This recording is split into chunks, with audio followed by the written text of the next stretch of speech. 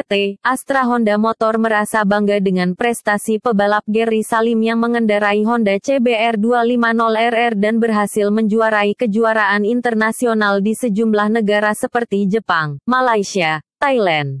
Direktur Indako Trading Co selaku main dealer Honda di wilayah Sumut. Leo Salim, di Medan, Sabtu, mengatakan bahwa berkumandangnya lagu Indonesia Raya dan dominasi podium yang dipersembahkan pebalap HRT bersama CBR 250RR di ajang Asia Road Racing Championship, ARRC, merupakan prestasi yang sangat membanggakan.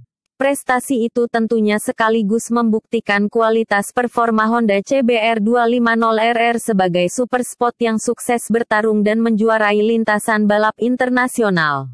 Dengan semangat, satu hati, Honda akan terus menghadirkan kebanggaan bangsa bersama CBR 250RR dan menemani para pebalap muda tanah air mewujudkan mimpi mengharumkan nama bangsa dengan mencetak prestasi yang lebih baik di event balap selanjutnya, katanya. Sementara TN Marketing Communication Manager Indako Trading Co Gunarko Hartoyo mengatakan hadir dengan desain yang indah, performa yang luar biasa dengan total control, konsep all new Honda CBR 250RR sudah mendominasi pasar super sport 250 cm3 serta dinobatkan sebagai motor terbaik di tanah air seiring diterimanya penghargaan Bike of Year 2017 pada ajang Automotive Award.